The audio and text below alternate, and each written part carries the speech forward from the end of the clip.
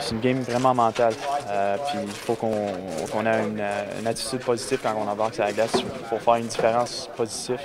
Puis euh, c'est ça, il, faut que ça change en fin de semaine. C'est difficile, n'importe quelle année, c'est difficile. tu rentres dans, une saison, c'est pas facile de faire des séries pour, euh, chaque club.